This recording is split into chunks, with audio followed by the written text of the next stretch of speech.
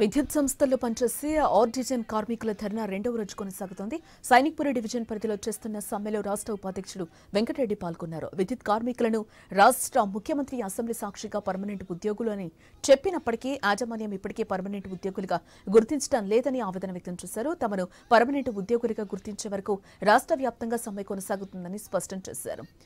Artisan కార్మికులకు standing orders రద్దు చేస్తూ ఏపీఎస్జీబీ సర్వీస్ రూల్స్ అమలు చేయాలని అన్నారు.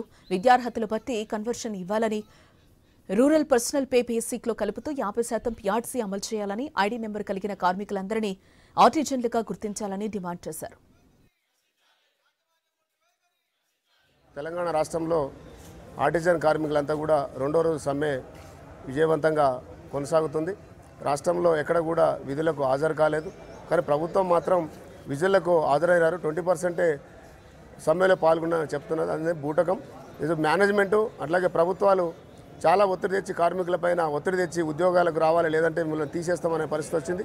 కానీ ఆ తీసేసే అనే దానికి మా కార్మికులు ఎవరు కూడా భయపడట్లేదు. తప్పకుండా సమ్మె విజయవంతం చేస్తాం. ఏదైతే మేనేజ్మెంటు ప్రభుత్వం ఇచ్చినటువంటి హామీని నెరవేర్చమని ఈరోజు మేము ఆర్టిజన్ కార్మికులుగా అడుగుతున్నాం. మాకు ఇచ్చినటువంటి ఆ ఆర్డర్ ఏదైతే ఉందో దాన్ని క్యాన్సిల్ చేసుకొని మాకు జేఎల్ఎంగా ఆత్మగౌరవం కావాలని ఈరోజు తెలంగాణ తెచ్చుకున్నాం. కానీ ఆత్మగౌరవంగా ఈరోజు ఎలక్ట్రిసిటీలో బతకలేకపోతున్నాం.